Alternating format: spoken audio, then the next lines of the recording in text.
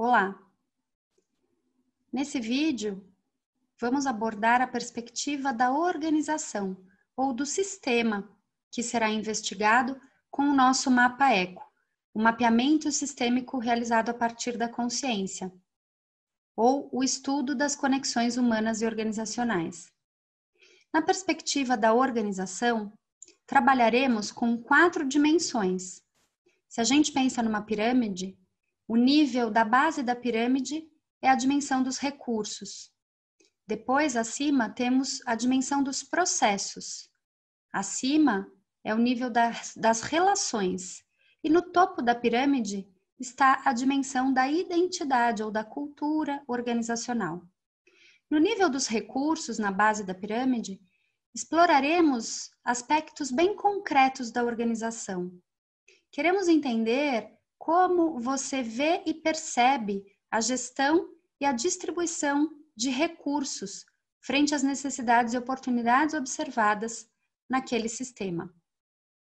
No nível acima, na dimensão dos processos, exploraremos os aspectos que representam o fluxo de informações e ações na organização, representados pelos processos na, e sua respectiva definição e clareza bem como aspectos ligados ao envolvimento das pessoas nos ciclos de melhoria contínua desses processos.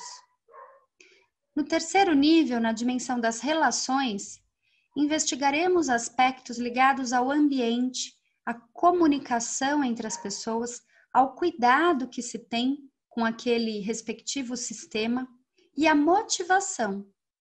Esse será o âmbito das relações.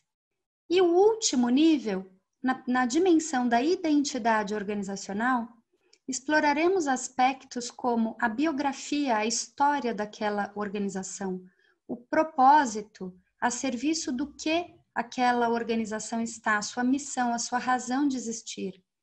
Exploraremos a visão de futuro, os valores, a cultura organizacional, a forma como, como as coisas funcionam naquele respectivo sistema.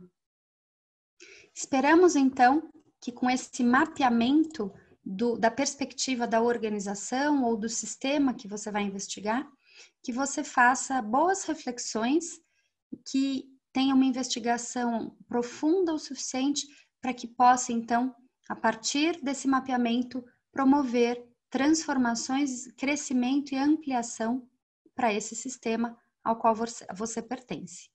Estamos à disposição para esclarecimentos e bom trabalho.